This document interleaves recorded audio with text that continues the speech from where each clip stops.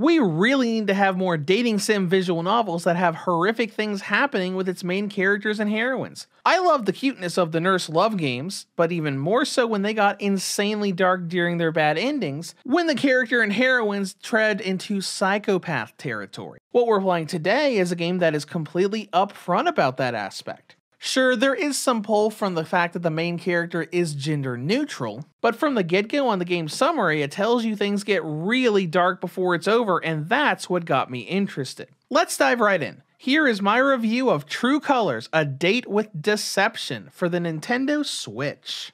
In True Colors, you play as a gender neutral character that works in an office job. Normally alone, or you branch out and begin getting to know one of the three new hires the company just brought onto the team, leading to much more than a single weekend hangout session. The story then goes as you get to know them and spend time with them before disaster strikes, making you and your relationship struggle to stay afloat. Now, as a story, I think the more romantic bits and early part of the routes are alright. The game does a good job of showing each character's quirk and backstory, like Ash's struggle with identity and being non binary, and what drives Brianna to go out of her way to help as many people as she can with pet shelters and charities. What's really good is how uncomfortable it is and how it deals with its dark and insane events. In each route, something bad happens as you get closer to your chosen character. This event actually happens when you're halfway into the route, offering not only a huge and crazy twist, but also has the part 2 of each route an arc of dealing with the aftermath of said event. It'll also happen in a way you will not expect.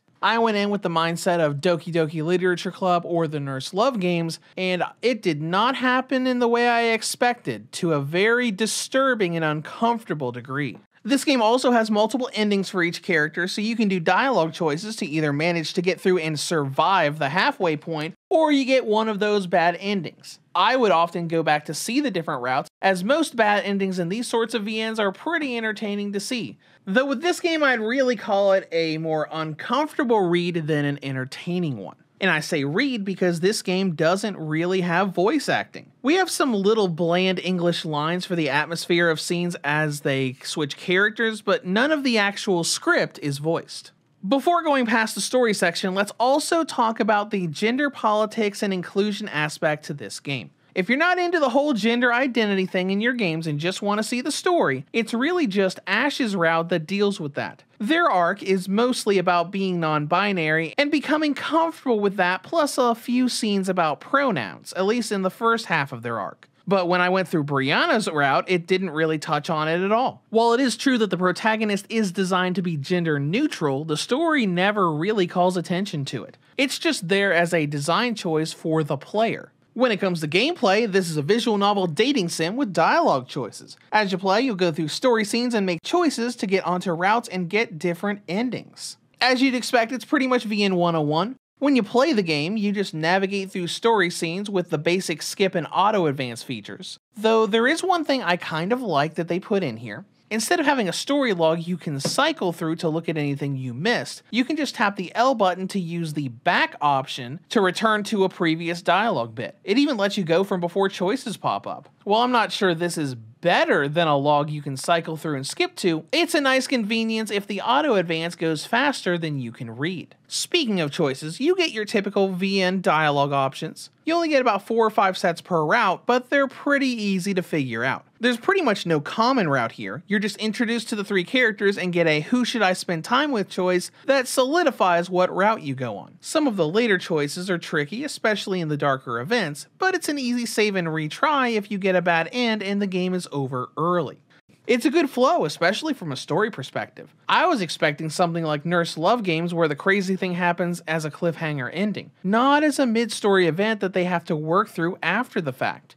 But I will point out that this is very clearly a low budget VN from a developer that hasn't made a lot of games in the genre. The art style, many of the features built into it, and to its kind of normal or casual way the characters talk in the early parts of the game. Doesn't make it bad at all, but you can always tell when you're playing, for lack of a better term, an indie VN. Though I will nitpick two things here. First, VNs normally give you a surplus of save slots, and this game gives you an amount that's fine, but not optimal for what I personally do. You get 18 save slots total, essentially 6 per route. And this is fine, though I typically will have saves all over VNs to grab for footage. This setup is essentially just for dialogue choices. Like I said, it's fine, it's just way less than you'd normally get out of the genre. Second, there's a weird way this game's skip dialogue function works. In a typical VN, it'll skip any dialogue you have read, but in this game it only skips dialogue that your current save file has read and in that session. I first noticed this when I was trying to skip some scenes in Brianna's route that were mostly a retread of an event that also happened in Ash's route, but it wouldn't let me. You can skip the intro before you go onto a route and pretty much nothing else. I even went back to a save file I had in Ash's route after I'd already completed the route with all endings,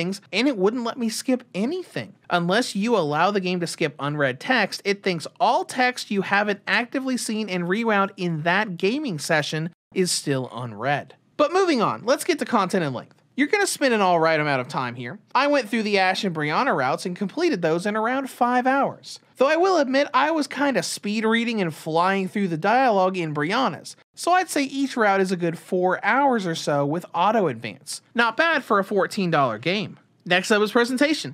Visually, I think the game looks good. It's got a lower budget art style, but it still looks good for what it is. The art is consistent, and we've still got a few CGs thrown in here and there for emphasis. Just don't expect the ultra detailed CGs or moving renders of the bigger name visual novels. Performance is good as well, no frame weirdness or crashing, but there is a bit of a weird effect that happens on the title screen. If you sit on the title screen for even as little as 25 seconds, the music will abruptly stop and almost the entire screen will fade to black and then restart again, as if it were just looping a 25 second video.